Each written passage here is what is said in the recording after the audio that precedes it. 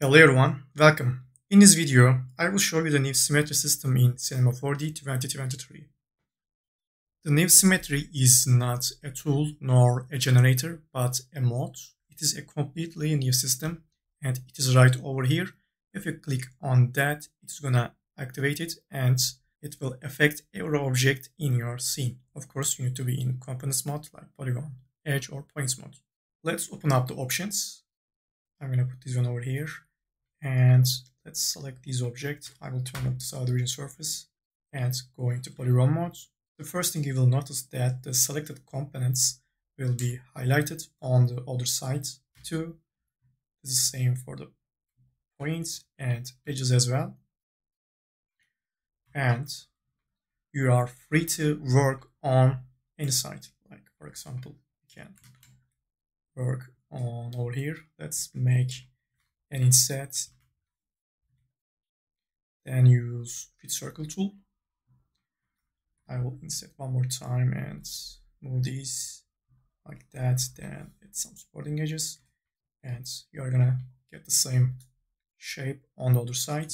Now let's do something on the right side. I will select these polygons make an inset again fit circle tool. I'm gonna move these down some supporting edges and here you go. Now let's check the other things. I will enable show planes options. At first you are not gonna see anything because you need to be in polygon edge or points mode. So let's go into polygon mode. And you are gonna see that symmetry plane only the X is enabled so you are on you are only going to see the X. If you enable the other ones, you are going to see them as well. But in my case, I will just need the X. So I will just turn the X on. And the other great thing about the new symmetry system is that you don't have to delete the other sides. Actually, let me show you in a new scene. Let's say that you have a cube and you want to use symmetry.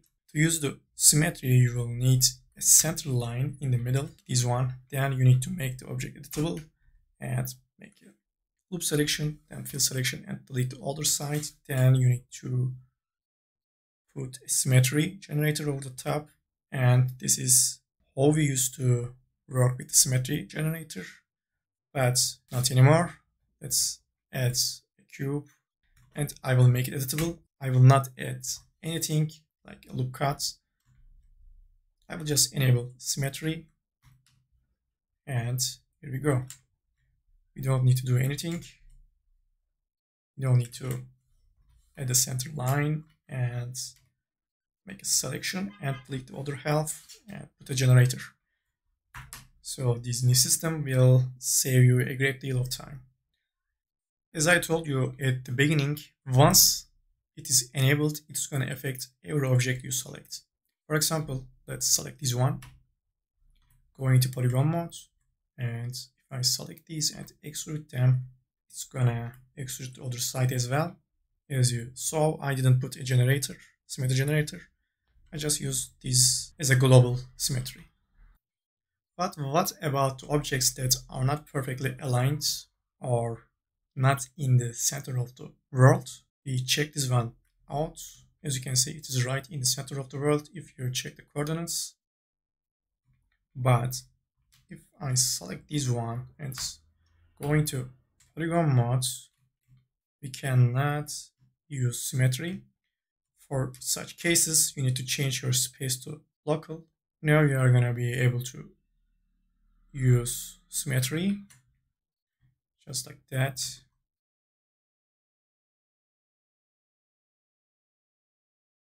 Let's select these ones.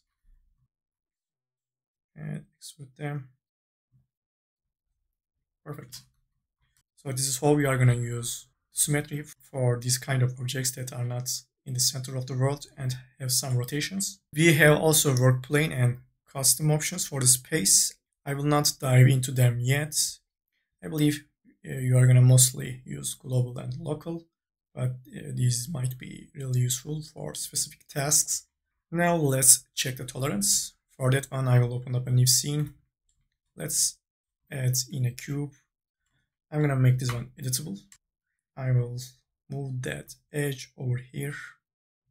And now, as you can see, the object is not perfectly symmetrical, but with this tolerance, we are gonna able to make adjustments on every side.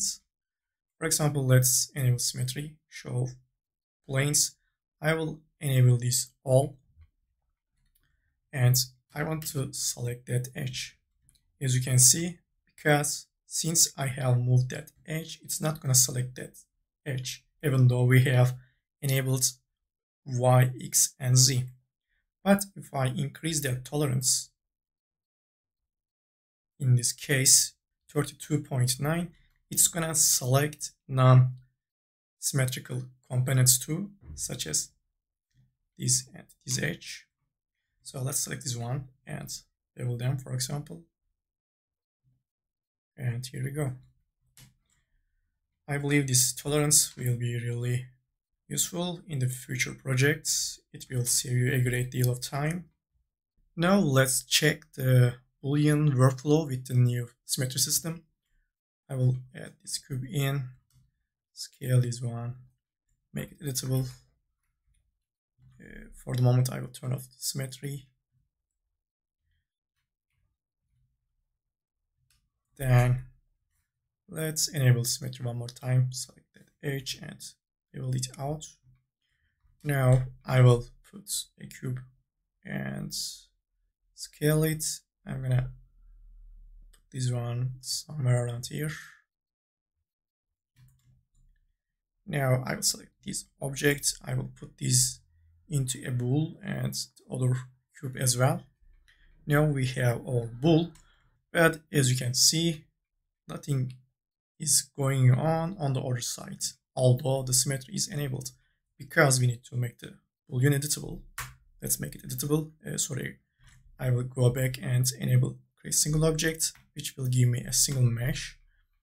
Again, nothing has happened because we need to go into polygon edge or point mode and then right click and select symmetrize tool. This is kind of a replacement for the mirror tool but more advanced and linked with the symmetry hub.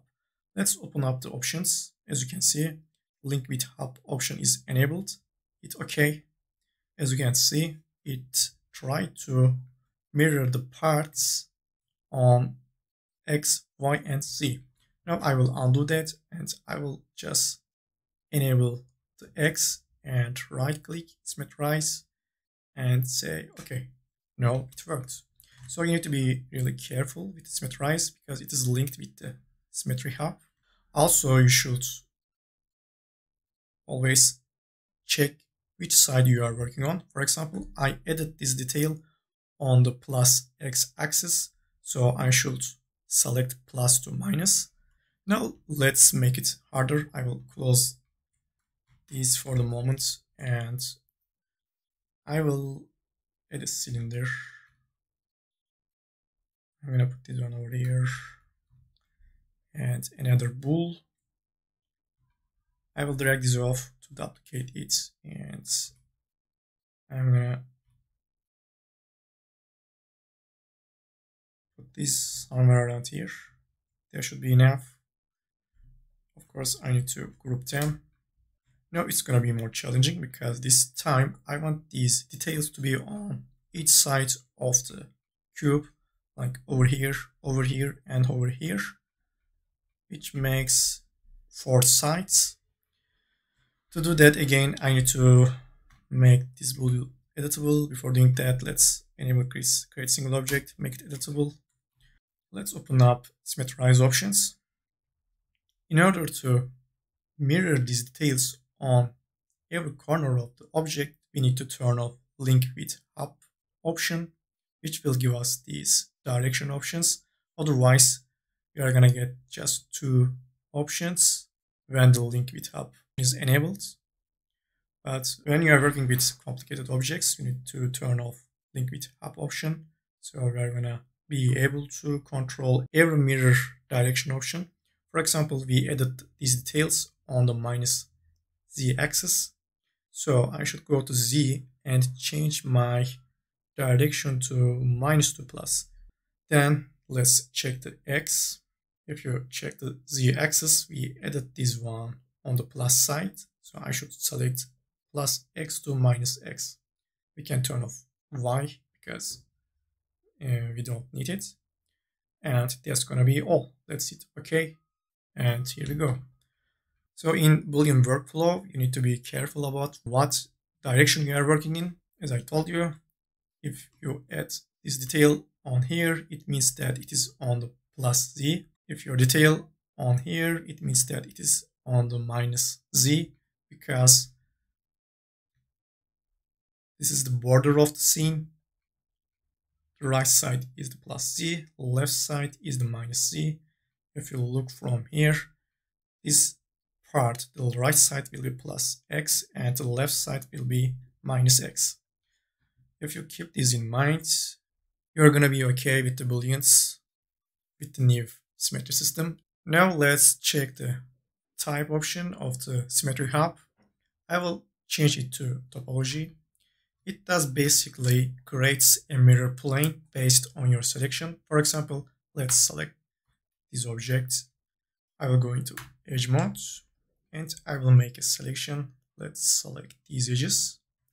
Then select the edge loop mode and then say define selection. It will create a selection tag and then you can go into polygon mode for example and select these polygons. As you can see the selected edges act like a mirror plane. Let's make an inset and circle tool. Another. And another. Inset I'm gonna push this in. And and here we go as you can see we can also add non-symmetrical details to an object with the help of topology type this topology type is great for hard surface stuff but its real potential is in organic models. Let's check this dog out. As you can see, the object is not symmetrical at all. You can check the feet and check the head and the tail. It is completely non-symmetrical. Let's select the object, go into edge mode, and I will try to find the center edge loop of the mesh like this one. Just double click on that, then open up the symmetry hub, change type to topology, loop mode should be edge, and I will say define selection. It's going to create a selection. From now on, whatever you select on the right side will be selected on the other side as well. Of course, we need to enable symmetry. And now, for example, let's select these polygons and you're going to see that the same polygons will be selected on the other side, even though the object is not symmetrical.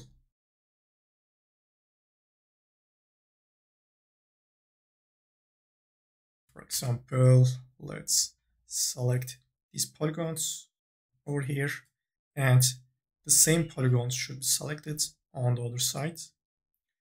Again, the object is not symmetrical at all. These polygons have completely different positions, but with the help of the symmetry edge selection, we are gonna able to select these polygons. Like here, as you can see, the tail is not symmetrical, but we are able to select these polygons because these edges acting like a mirror plane. As you saw, the new symmetry system is a big advancement in Cinema 4D in terms of modeling for both organic and hard surface modeling. It will save you a great deal of time. The older one, which is still around here, was kind of annoying. It had some problems, but with the new symmetry update, your workflow will get much faster and you will be able to create amazing stuff if you dive into these for example, work plane and custom spaces and with topology type, it will enable you to create crazy stuff if you again dive into this. So for now, that's it for me. Hope you liked the video and learned something new. I will see you in the next tutorials. Bye.